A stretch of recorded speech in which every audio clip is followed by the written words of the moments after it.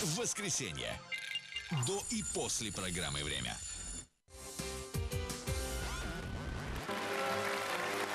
В эфире «Давай поженимся» программа о том, как найти спутника жизни. У нас в студии Алексей, мы ищем ему жену. Давайте посмотрим на вторую невесту. Елена, 27 лет. В 13 лет влюбилась в известного в районе хулигана. Только спустя годы поняла, что семью с ним не построишь, и, несмотря на любовь, бросила его. Всех следующих ухажеров сравнивала с ним и разочаровывалась. Елена – педагог-психолог, работала с трудными подростками. В Москве устроилась менеджером в салон связи. Елена без ума от русоволосых, голубоглазых мужчин. Алексей полностью соответствует ее типажу.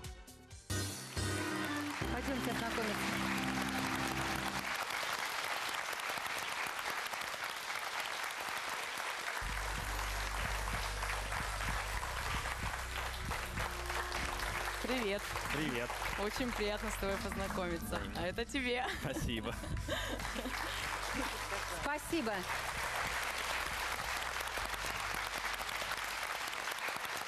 Чупа-чуп, Ой.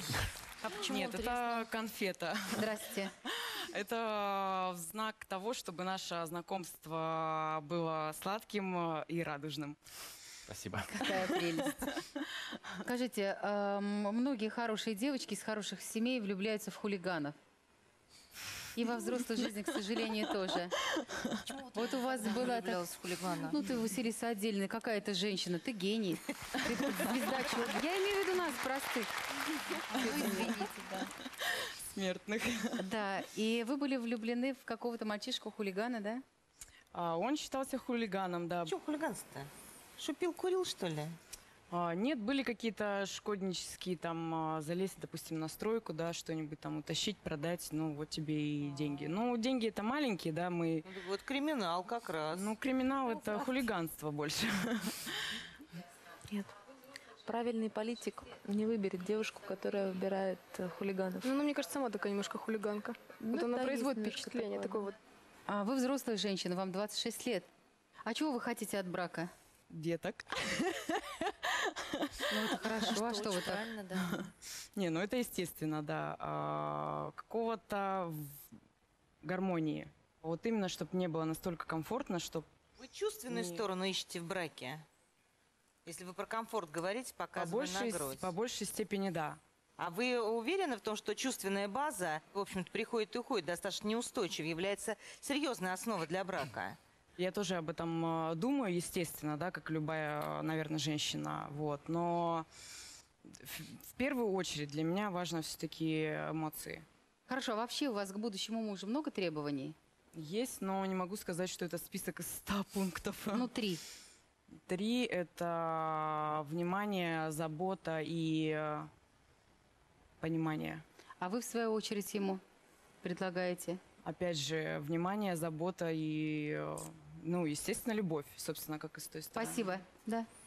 Алексей, скажите, пожалуйста, насколько вы готовы отпускать э, свою женщину куда-то? Насколько она может быть свободной с вами? Ну вот где-то там, я не знаю, в магазин не сопровождать ее за Самое руку. главное, чтобы до 12 ночи была дома. А, вот есть все-таки, Нет, а ей надо в два прийти, да? Алексей сказал, что он ревнивый. Есть, это понятно. У вас тоже, наверное, есть какой-то вопрос? Конечно, мне бы хотелось узнать, маме-то какие девушки нравятся? А, Такие, какие нравятся мне. Потому что я взрослый человек, поэтому выбор за мной. Очень приятно. Интересно было все-таки, бы, да, ты знаешь, все-таки есть, производит впечатление маменькиного сынка. Есть, Мгм. есть это. Да, мне тоже Несмотря на то, что он сильный, Я хочу узнать, а как вы относитесь к тому, что, например, Алексей будет э, сам принимать решения? Вот. Отлично. Я просто по знаку зодиака весы, и для меня не совсем просто принимать э, решения. Это Вы опираетесь иногда на очень партнера. проблематично, да, вам- поэтому Да я ладно. с удовольствием. Да ладно, вы девушка достаточно решительная, давайте честно Э, будем говорить, решительная, рисковатая даже в своей решительности. А как же говорить, что сложно принимать решения? Вот я могу сказать, что решительность знаком зодиака никак не определяется. За принятие решения отвечает Марс. Он у вас в знаке Стрельца расположен, весьма решительным. Я бы, честно признаюсь, таких решительных девушек даже побаивалась. Ну, чтобы не бояться, давайте посмотрим на сюрприз, который вы приготовили. Пожалуйста. А, Хотела сказать э, два слова. Я на самом деле очень э, люблю путешествовать. И самый, наверное, мой город моей мечты, город э, вообще, который я очень сильно люблю, это Париж. И вот эту вот частичку этой Франции я бы хотела тебе сейчас подарить.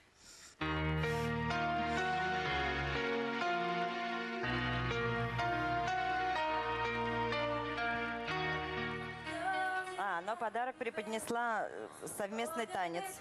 Отлично. Танец. Это тоже подарок.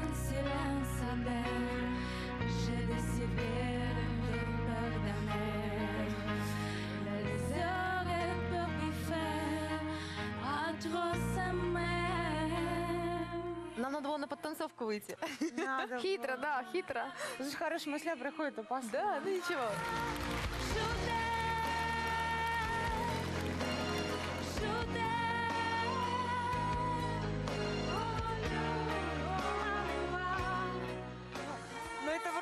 Как, я не знаю.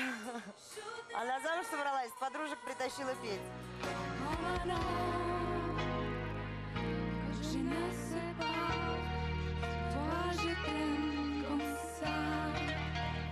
Браво! Вроде как подарок не своими руками, знаешь? Да! Ничего себе подарочек! Красавицы, а вы-то замужем? Не слышу. Нет. А женихи не нужны, нет? Следующая Какие- передача. Какие вы клевые, слушайте. Все внимание переключилось на подружек невесты. Так было задумано. И одна из них рыжая, между прочим. Наша. Наша девочка. Как вам подарок? Не смотрите Понравился. сюда, сюда смотрите. Понравился? Да, да, и нам понравилось. Да, спасибо. Безупречно. Спасибо. Идите в комнату, девочки.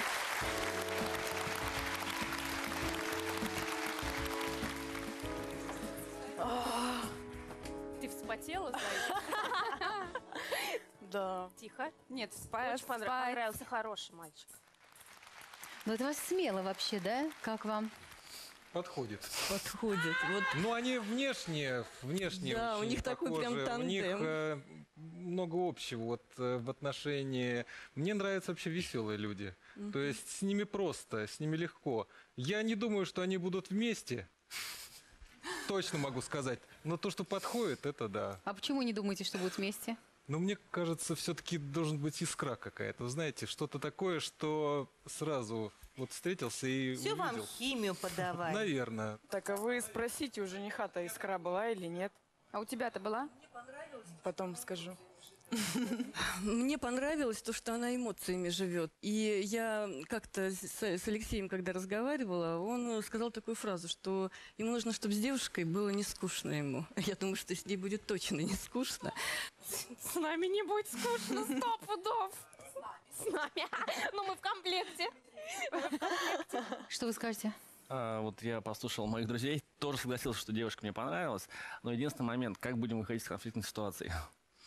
Чтобы не было борьбы кто кого. Женщина в семье может быть эм, либо флюгером, либо парусом. Ну вот, конечно, очевидно, что Лена, в общем-то, это парус. Она умеет не только считаться с обстоятельствами, но и достаточно серьезно влиять на них. Вот вопрос заключается в том, насколько она готова э, паруса настраивать в нужном направлении, в общем-то. А в момент, когда И перестраивать. Конфликтная, конечно, ситуация. Вот тут э, больше нужно надеяться на капитана, а не спорить с ним и плыть в том направлении, в которое, в общем-то, сдает Как говорил капитан. мой шеф, и говорит мой шеф, что на корабле должен быть один капитан.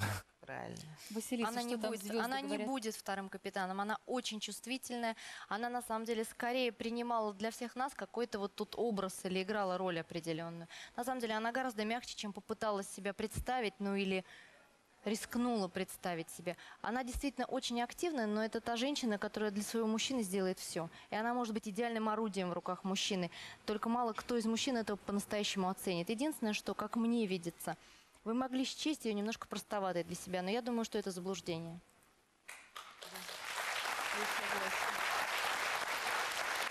Очень скоро Алексей